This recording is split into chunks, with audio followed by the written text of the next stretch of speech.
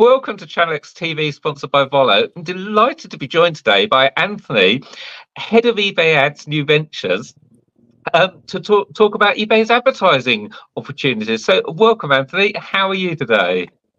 I'm doing wonderful. How are you, Chris? I'm great, thanks. So, what do you do at eBay? Oh, my role is to um, look at the existing suite of products and see if there are any gaps or opportunities for us to offer our eBay ads customers uh, new services uh, that can help them improve their sales and improve their reach. And we've got an exciting one to share details of today a new advertising product for eBay ads, which is a little bit different from the existing portfolio. Um, eBay offsite ads. Anthony, can you tell us what are eBay offsite ads and how does it benefit eBay sellers? Yeah, offsite ads uh, is a new advertising tool that we just launched that helps our sellers um, invest in promoting their items outside of eBay uh, on channels such as Google. So that is why it's exciting. We know that people don't always start their um, their purchasing journey on our site and they do that offsite. And we're now helping our sellers to put their items where those buyers are. So this sounds really interesting. It, oh, it, it, it begs the question: What's the reason behind eBay investing in this product? But I think you've almost answered that. That not everyone starts their buying journey on eBay. Correct. Um, I mean, the reality of it is products like uh, Google's um, product listing ads. I mean, we've all searched on Google and seen those items with pictures and prices. Uh, products like that are only available if you own the domain where that um, product is currently listed. So before now, our sellers couldn't actually um, leverage those kind of ads. You know, they call them product listing ads. So we saw that that was a blocker. We could do it, but they couldn't do it. Uh, and we decided, okay, let's enable them to do it themselves by going through us. That's why offsite ads was built. Mm. And I know Google is getting a lot more complicated. They're almost forcing you to go through a CSS nowadays. Correct. Uh, but when might a seller want to use an off offsite ads on eBay as opposed to the the more traditional promoted on li listing ads on on eBay? Well, so if you do promoted listings on eBay, uh, you do get a benefit of um, being listed on Google as well. We have a you know what we call extended uh, external promoted listings. So when you promote on eBay using promoted listings, you do get some benefit. Mm, but the way we look at it is we have to manage that um, process in a way that makes sense for eBay. Uh, sometimes sellers want a little bit more. You know, it's possible that you have some items that you really want to give a push. You are maybe doing a, a clearance, you need liquidity in a hurry, and things like that. This product is there to enable you go above what we will do uh, by investing your own uh, funding into the process. So that's when you will use that. Mm. Um, and which channels is eBay currently partnering with to drive the reach of a seller's products across the web in general? So for now, offsite ads only goes through Google. Uh, we're also experimenting with Bing as well. We're being very careful in choosing those um, channels, um, but we hope to extend to more. I can announce all of them here. What we want to make sure is that we choose channels that would perform very well for the seller. Mm. And I think it's fair to say in the UK, Google is probably 70, 80, 90% of search anyway. I know it's slightly different in the US where Bing is a lot more popular.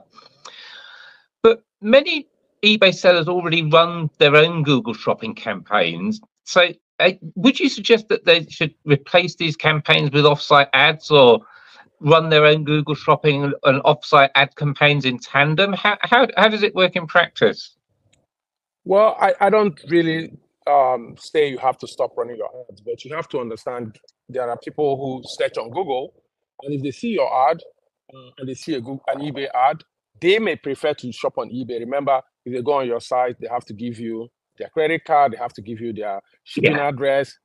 Uh, and also, they might not even know Anthony. If they see an AnthonyOkoro.com, they don't know who, my, who I am, but they know eBay. So it's important to have a multiple channel approach to marketing because it's not every buyer that is going to be willing to check on a new website and buy an item, even when the price is lower. Um, some mm-hmm. buyers will trust eBay or already feel it's more convenient. So it makes sense to leverage as many channels as possible when you're going after buyers. Yeah, I have to admit, eBay is like normally my first port of call because I've got the account. Uh, it, it's a single click to buy it right. now, or I can add it to my basket with other products. It, it, it makes sense. Yeah. So I would say, um, just quickly, there are people who had those concerns before they try the product. What we have seen so far is it's not necessarily cannibalizing their business; it's additive to what they were getting before. Yeah. So if mm. that is a concern. So we know some sellers already benefiting from um, Google shopping ads through yeah. their promoted listing campaigns. So people are going to want to know that are watching this will offsite ads compete with the ad placements from promoted listing campaigns? How, how does it work? Well, the offsite ads product is a dynamic CPC product. So that means you pay cost per click um, and it's adjusted high or low um, to make as much make it as economic as possible. Uh, whereas promoted listings, as you know, is a um, is a is a cost per sale, so you have a percentage of the sale.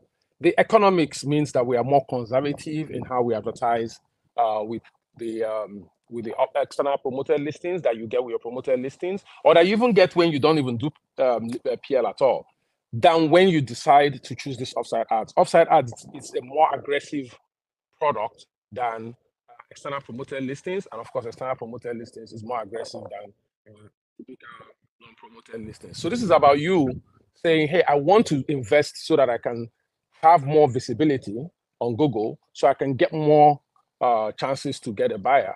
That's what this is about. So it depends on your appetite for investing in your marketing. Mm. And how will sales be attributed between promoted listings standard, promoted listings advanced, offsite ad campaigns. How do I know which fee I'm going to pay where? I mean, could I potentially have to pay both because someone sees my offsite ad and comes to eBay and I paid for the click and then they hit a promoted listings on a sponsored product? Do I have to pay again? No, actually, once you start doing offsite ads, those um, your entire account is moved out of uh, our external promoted listings. I mean, you're still marketed on the site, but you're no longer in our Google campaign for the external promoter. Actually, Google doesn't really uh, like multiple, um, you know, items being in multiple campaigns. So you're actually moving to another campaign, and you're not going to get charged twice because now you're in a different type of campaign on Google than the previous one. Hmm. So that's really interesting, and uh, I think that's one thing people will be really pleased about that there'll be one or the other. Yeah, one but or the other. What if I've got different types of products where I need different marketing strategies. And I've got some that I'm quite happy just with promoting on eBay with promoted listings. And I've got others that I really want the offsite ads. Can I choose which listing going to what type of campaign, or is it just an account level, everything's offsite ads or everything's promoted listings? Yeah, we're still exploring the possibility for you to be able to either select or exclude listings. Uh, but at, as at now, Offsite Ads is an account level campaign. Uh, I should also mention the campaigns are run on what we call a target ROAS. That means uh, we tell Google that we really don't want you advertising these items unless you think there's a, a, a, possibility of a purchase. So it's a very conservative type of campaign uh, that we're running, even though, again, it's more aggressive than the external PL. Uh, and Google is taking that into account so that it doesn't just blow your budget. It's quite conservative in how it places it. But for now, it's an account level opt-in. You have to understand uh, we have already done something most marketplaces have not done by taking our campaign and breaking it down by sellers. Most other marketplaces, like uh, you know, our competitors, they just send the whole feed as just one uh, account. We had to do a lot of engineering and you know innovation to break it into sellers. To now break it down again with Google into individual campaigns is a little more technically challenging, but we are we are working on how to figure that out. Good to hear. I look, look, look forward to more news on that in the future then. Yes. But the other thing sellers are going to want to know is um, some people will only trade in the UK on ebay.co.uk, but others will use uh, campaigns in other markets how will offsite ads work across uh, uh, across the different markets? Will it be I'm a UK seller, my camp offsite ads will only be shown to UK sellers, or if I also sit to Germany and France or the US, will will my ads appear in those territories as well? Um, until recently, it was kind of um, limited to country, but recently we've now uh, adopted a cross-border um, uh, cross-border trading uh, CBT type of uh, option. So if you already opted into any of this cross-border um, shipping and being able to sell in other markets, your ads are now going to show in all those other markets as well. Fantastic. So the the the hundred dollar question has got to be, what sort of performance will sellers typically expect from offsite ads? What, what what's what's the bang for my buck? What am I what what, what can I expect to see? Is it going to be a, a, massive increase in sales? Um, is it going to be a bit more conservative and it'll be a smaller increase in sales? What what's it going to do for my eBay account? Well, so we're still trying to uh, get the you know performance numbers sort of cleared by IR and PR. I'll rather wait for them to officially release those numbers. Sure. Uh, but what I what I can say is that uh, majority of the customers who have used it, are you know, seeing a difference. Again, it's not for everybody. Remember, there are the items have to be eligible um, for Google to share them. For example, you know, Google prefers fixed item, fixed uh, price items. Uh, Google prefers items that have more information, like product ID um, and things like that. So I would say it depends on what you're selling, but I think the people who sell uh, are sellers who sell the things that uh, tend to do well on Google are now seeing a much more higher level of sales than they would have if they were using either external PL or our typical evergreen, um, you know, general um, Google advertising. So it differs from seller to seller. But if you are the kind of seller that sells what Google considers good inventory, I think you, you will get very good uh, bang for your buck with this product this is really interesting, Anthony. But the question people are going to want to know is how do you use offsite ads in tandem with other eBay programs? And that could be promoted listings or it could be marketing tools like flash sales or coupons. And if I've got a, a sale price going on, does that automatically feed through to my offsite ads and reflect in the price? How does it all hang together? Well, first of all, you have to go and opt into the offsite ads program uh, as I said earlier, offsite ads ops all your um, inventory into our program. Uh, and then we start to run uh, this, you know, target ROAS campaigns to get you a good ROAS on, on Google. So it's it's not it's not necessarily if you have other campaigns going on eBay, it doesn't necessarily block you. Um, and again, as I mentioned earlier, it's not going to be double charged an advertising fee. You only get to pay one. You pay the offsite ads, uh, you know, cost per click, uh, and you don't have to pay any other any other fees for it? Um, I understand that offsite ads is um, still in beta. So are all sellers eligible to start using it today, or do I need to get an invite? Um, when can I start testing to see if it's right for myself? Um, I think we've expanded eligibility. In the beginning, it was a, a handful of sellers because we wanted to make sure we get it right uh, we've expanded eligibility. It's not still available to every uh, everyone, uh, but you know we're talking now uh, in the millions number. Um, most of it is we're trying to stick with you know the legal requirements. Some of it is related to VAT rules. Um, so you know if we start offering it to consumers, we might need to make sure that the pricing reflects VAT and things like that. So we have had to we have had to limit it now to I think uh, business sellers, but um, we're working on how to get it uh, um, open to more to more uh, types of sellers. And now for the really interesting bit, if I'm a seller watching this interview and thinking of setting up my first offsite ads, what sort of expertise do I need to enable me to set up a campaign? Is it kind of a similar process to say um, promoted listing standards or promoting listings advance or is it a lot more complex or is it is it simpler? It is so simple. I would say you can set up an offsite ads campaign in less than two minutes. Um, oh wow. it's that, that yeah, is quick. all, all, you need is a budget. Tell us your daily budget um, and then a few couple of settings and you're good to go. Because it's account level opt-in uh, one of the things i think feedback we've gotten is they've never seen uh, and easier to set up a um, campaign um, system here in uh, eBay. In fact, on even Google as well. Uh, we've made everything almost like the same magical uh, because we are working with Google to select the items that are likely to perform more than anything else. You don't have to do that yourself. Um, so all you we really need from you in the flow is that budget um, and you know a couple other settings, and then you're good to go.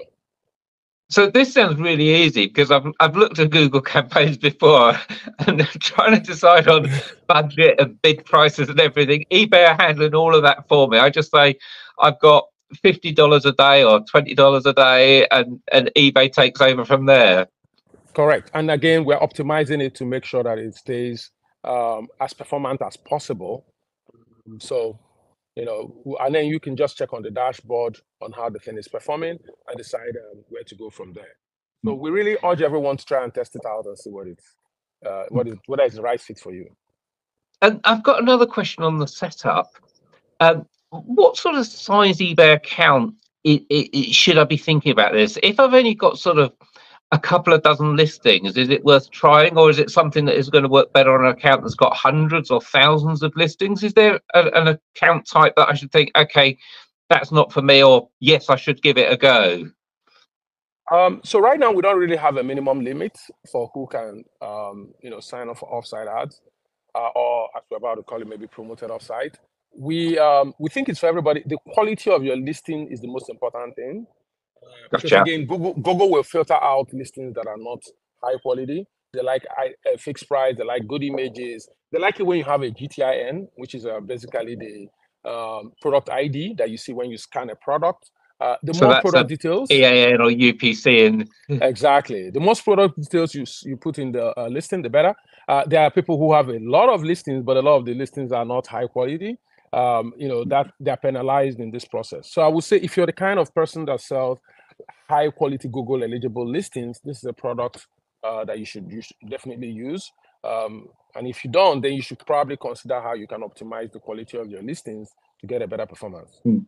And to be fair, this is something that eBay have been telling us for years that you want good quality product shots on a white background with no borders. You want good titles, fill out the item specifics, have a great description. It's it's all of the basics. Correct. Uh, and another thing I must say is I think uh, some of our parts and accessories sellers are finding out that um, things that eBay has done over the years to get things like fitment and so on, we actually are performing better um, at conversion than they do on their own website because um, you know we're making sure that we also include those things as we send your listings to Google. So there's even a possibility that offsite that gives you a better performance than you can get on your own. Mm-hmm. So for those that want to go out and look more closely at this, are there any additional resources or support available to help sellers effectively integrate offsite ads into their marketing strategy? Where can sellers go to find out more? Well, I'll say first of all, if you're a managed seller, you should talk to your account manager uh, because they are equipped to answer a lot of questions and help you run this campaign. Uh, we also have public facing um, you know, information again, maybe go to Google, Google um, eBay offsite ads, and that will help you land on our page because I don't have the URL by heart. Um, and then also, you know, if you are able to talk to anyone at Google, at eBay rather, then you should because they can get that information. Seller Center is also a very good place to check.